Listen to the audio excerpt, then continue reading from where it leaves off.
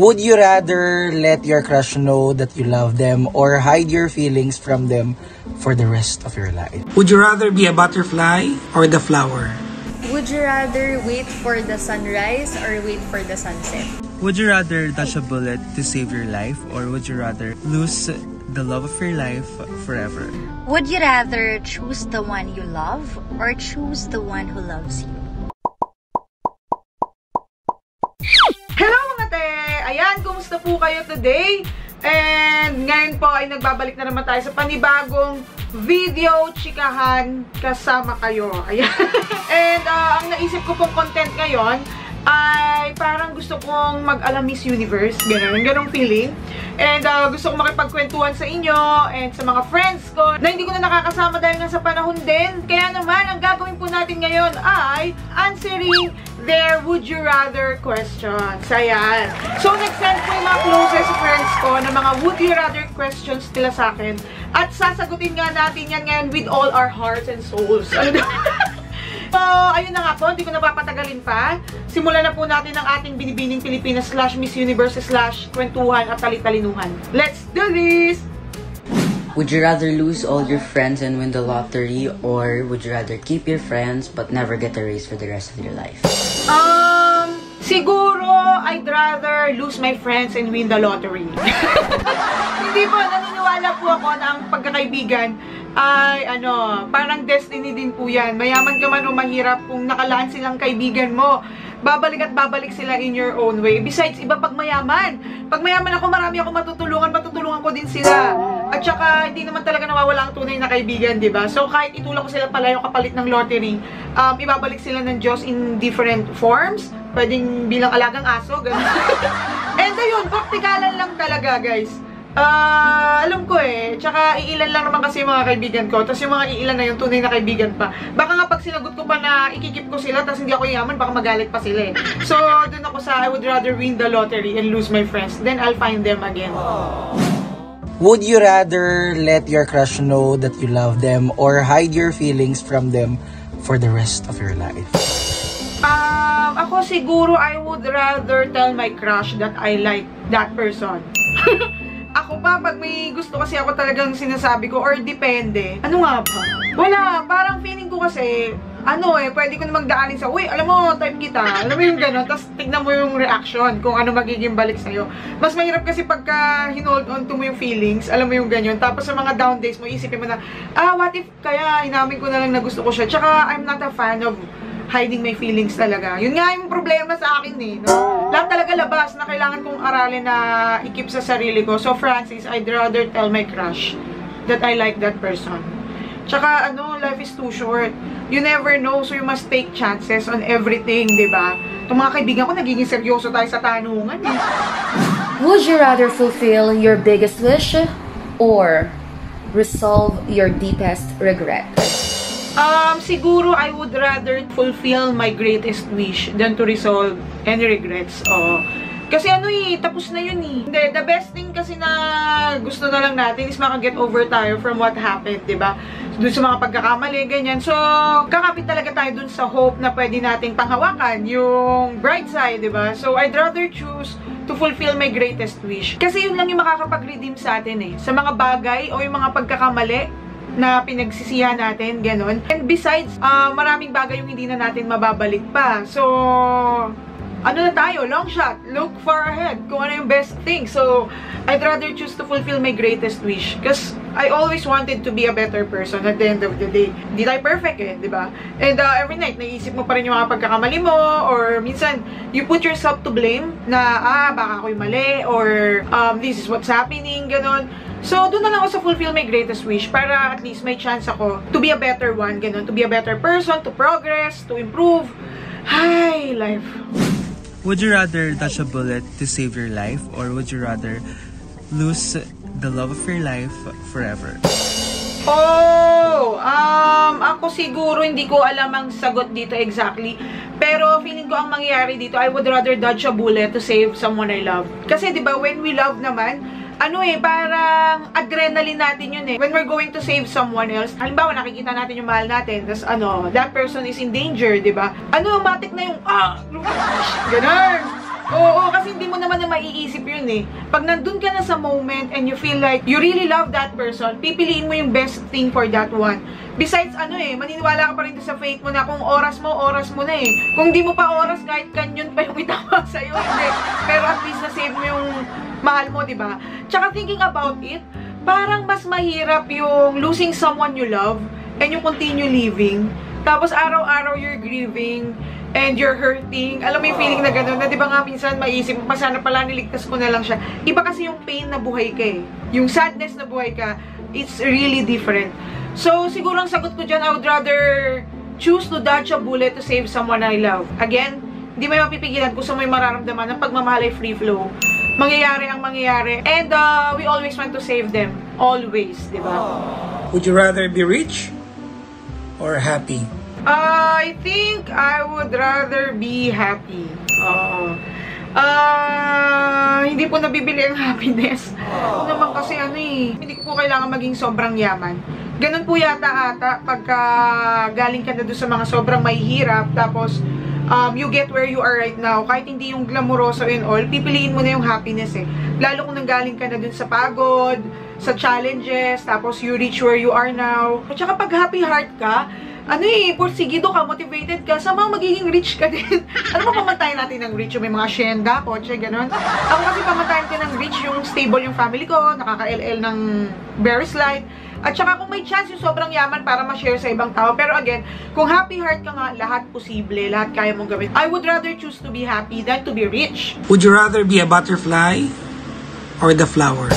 I would rather be the butterfly. Oo, gusto ko po yung namamasyal-masyal sa iba't ibang bulaklak. Hindi ko alam kung anong sense nun. Though alam ko naman na yung mga butterflies, ano, yung lifespan nila only last for few weeks, pipiliin ko pa rin pong maging butterfly. At least, um, lagi akong nare-renew. Di ba? May natatapos magre-renew ka into something new, into some new butterflies. And ang sarap kasi ng new beginnings. Parang new chances. At saka, wala, gusto ko pong lumipad. Parang nakakapagod po maging bulaklak, tapos nandun ka lang. Tapos aapakan ka lang, oh. Hindi, so butterfly po ako. Would you rather age or be an immortal? I'd rather be aged. Oo. Ayoko po maging immortal kasi parang ang lungkot, mamaya ako na lang yung immortal, hindi ako natitegi bumbels. Masasaksihan ko po pa isa-isa yung mga pagkawala ng mga mahal ko sa buhay, yung mga closest to me. So okay na rin po yung tumanda na lang ako. Kasi malin nyo magkaroon ng second life, di ba? Magsisimula ng panibago. At saka, sabi nga nila, makikita mo yung sunset ng buhay mo, maluluk back mo yung mga pinagdaanan mo. And okay na yon Every story has an ending, di ba? And ano, ang wala lang, ang creepy lang no feeling na buhay ka, tas lahat na sila nawawala na. Parang ang sakit, parang mabubuhay ka lagi sa goodbyes. So, ano, I'd rather be age na lang. Tsaka sayang kasi yung pension. ano, um, age talaga. Would you rather wait for the sunrise or wait for the sunset? I would rather wait for the sunrise. Sunrise brings new hope. 'di ba? Tsaka sabi nga yung tomorrow is another day. So pag natapos nung araw na to, abangan mo na yung kinabukasan. Kung ano yung best things na dala ng panibagong araw, anong challenges, anong matututunan, tsaka iba po talaga yung feeling ng sunrise. So I'd rather wait for sunrise than sunset. Would you rather be powerful or influential? Um, I would rather be influential. Oo. Ayoko po kasing mag, ano, ayoko po kasing mag-reinforce ng power para lang sumunod yung mga tao or I can lead. Mas masarap kasi maging influential. Yung hahawaan mo sila, tuturuan mo sila or magsiset ka ng example to them. Yung sama-sama kayo, kumbaga teamwork. Kasi at the end of the day, pag naghiwa-hiwalay kayo, maiiwan sa kanila yung mga knowledge na na-impart mo, yung mga inspiration and yung motivation, kasi you work as one. Hindi katulad ng power, ikaw lang, oh, go, yan, go, go, uh, gano'n, di ba? Mas okay kasi yung, di ba, kaysa gawin mo to, eh, gawin natin to. Gano'n, di ba? At the end of the day, maghiwa-hiwalay tayong lahat eh. So they can be their own leaders, di ba? So I'd rather choose to be influential than powerful. I thank you, Bao. Would you rather be a simple person but happy or rich but sad? I I would rather choose to be simple but happy. Kasi ano po, yanin ko po yung kayamanan ko kung di naman po ako masaya. Kahit mahiga po ako sa ginto, eh, para saan naman yun, di ba? Mas maigi pa rin. Minsan, mas ma-appreciate mo talaga yung moments, eh. Yung bonding, um, yung memories, other than, ano, material things. So, I'd rather choose to be simple but happy. I always choose happiness. Would you rather be ugly but with a good heart or pretty but bad attitude? Ay, doon na lang po ako sa ano, ugly with a good heart. Nakakaganda po yun. Ako personally, ang kagandahan po sa akin ay nasa ugali. Oo, kaya nga ano eh, pabebe nga ako eh. Yung yung laging term sa akin, pabebe ako. Pag nakita kong ano, yung um, gentle, tapos kind, tapos humble, ganyan, nakakaganda po yun. Oo, kasi aanin mo ang kagandahan, di ba? Kung wala ka namang kaibigan, dahil sa akin ang ugali mo, walang gustong makisama sa'yo. At saka ang kagandahan lumilipas, pero yung kabutihang nagagawa mo sa ibang tao, and yung good heart na meron ka, hindi po yan lumilipas, hindi po yan nareretoke, innate po yan sa tao. So yun ang tunay na kagandahan, yung mabuting puso. Kaya mas pipiliin ko pang maging ugly but a good heart. Would you rather have a happy family or a successful career? Ay, no-brainer. I would rather have a happy family. Oo, kasi anin ko po yung success kung di naman po masaya yung pamilya ko. Eh, lahat naman ng ginagawa natin para sa family. And ano, yun yung pinaka-success na meron kayong at the end of the day, uuwi kang may pamilyang nagmamahal sa'yo. Na peaceful and happy. So, kahit sa hirap, okay ka pa, pero mas masaya din kung successful ka, di ba? So, sipag-sipag na lang, pero mas i-build natin yung love and peace within our home, within our family. So, I'd rather choose to have a happy family than a successful life. Would you rather be uh, single but contented or to have a relationship but unhappy? Hmm, ang hirap naman po nito. Pero kasi hindi ka na mapapasok sa isang relasyon kung hindi ka masaya, di ba? At kung hindi ka na masaya, hindi ka na dapat na doon sa relasyon na yon. So kung ako ang tatanungin, I'd rather choose to be single but happy. Oo, kasi the love of your life will come when you are at your best, not when you are at your best, di ba? So pag happy ka, sige lang, ma-attract mo din yung ano, pagmamahal na para sa'yo. Kasi hindi naman talaga lahat ng pagkakataon tayo ang hahanap sa pagmamahal. Tayo ang hahanapin ng pagmamahal. And besides sa mga nangyayari ngayon, life is too short, di ba? Kung pwede lang masaya na lang tayo ng masaya, ganun. Kaso may mga inner battles talaga tayo sa mga sarili natin. So, piliin na lang natin yung safe and happy. Yung less yung pain. Yung less yung pain sa sarili mo, less yung pain sa ibang tao. Pwede ka naman maging in relationship with yourself, but happy. At saka mahirap din naman kasi pag lagi natin iasa yung happiness natin sa iba kung kaya naman natin gawin on our own. So, I'd rather choose to be single, but happy. Pero Lord, bigyan nyo na po ako. Charot na. Charot. Would you rather talk to animals or speak every language? Ang hirap ha. In fairness, nahirapan ako dito ha. Siguro, I would rather... Ah, ang hirap. Gusto ko kasi makausap yung mga. Gusto ko malaman kung ano yung buhay bilang isang animal. Hindi. Pero siguro, I would rather choose to speak all languages. Para, di ba, pag nagka-chance makapag-travel ka, hindi ka maliligaw. At saka, you will be able to talk to people to share the culture, ganyan, mapagkwentuhan nyo yung buhay nila, yung buhay nyo sa bansang meron ka.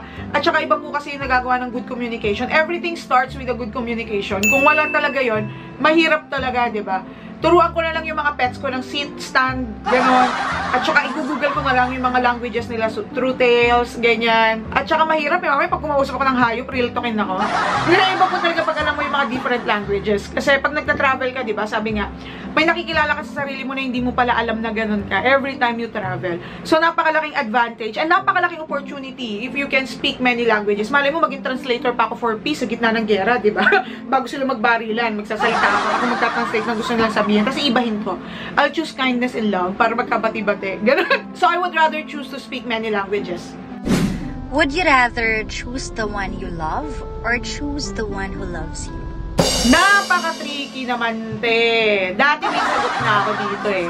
Pipiliin ko yung taong mahal ako. Kasi sabi ko, safe na ako doon. Aaralin ko na lang siya mahalin. Pero as I grow older, nare-realize ko na pipiliin ko pa rin yung mahal ko. Kasi love is so magical.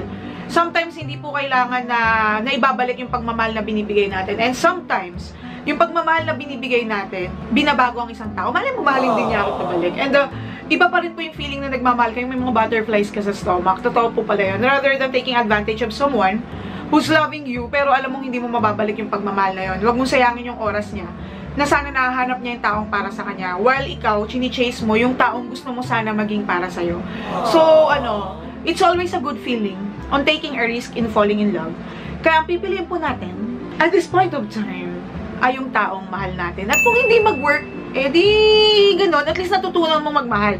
Kung at the end of the day, nasaktan ka, ah, maging proud ka pa rin sa sarili mo kasi meron kang pagmamahal sa puso mo. And you have the capability of loving someone, 'di ba? Despite of not having that love back in return, 'di ba?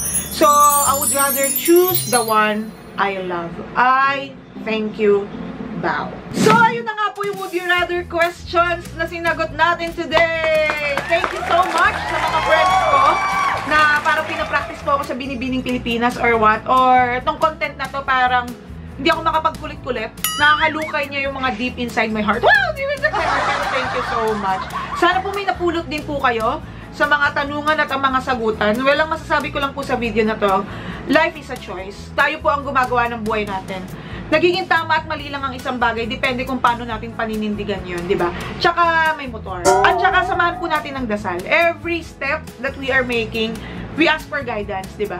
Kasi kung magkamali man tayo, kasama po yun sa buhay. Kung hindi man maganda yon pasalamatan natin kung ano yung gustong ituro nun sa atin. At kung maging maganda man yung kalabasan, pasalamatan natin yung blessings na binigay sa atin because of the decision that we are making. Maraming maraming maraming salamat mga te. Comment down na po kung ano pang pwede nating contents na gawin para magkwentuhan tayo lang ng magkwentuhan. And uh, ma-entertain tayo somehow. Alam niyo naman, mabagyo na, may pandemic pa. Pero okay lang yan. Better days are coming. So ayun po, maraming maraming salamat po para masubaybayan niyo pa po ako. Syempre, huwag niyo po akong kalimutang i-follow sa mga social media accounts ko on YouTube, Almira Shield, Instagram, Almira Shield, of course, and Twitter, Almira underscore Shield. May kumu ako, guys. Ah, halos araw-araw po ako nagla-live. Nakikipagkwentuhan po ako doon. Kaya naman i-follow nyo na po ako sa Kumu Almira Shield. Ayan. I-on nyo na po yung notification bell kasi wala po akong exact time kung kailan ako nag-online. Minsan pag, oh my god, ay hindi nakakwentuhan yun. Nagla-live po ako on Kumu. Ah, pero pag weekends, ayun, sure ball po yun. Every night, it's either on Saturday and a Sunday, live po ako. So, i-follow nyo na po ako sa Kumu. And may like ka po ako, Almira Shield. Ayan guys, maraming maraming maraming salamat po. Be safe, be happy, be grateful, and uh, have faith. Always. And this is me saying spread kindness. Bye!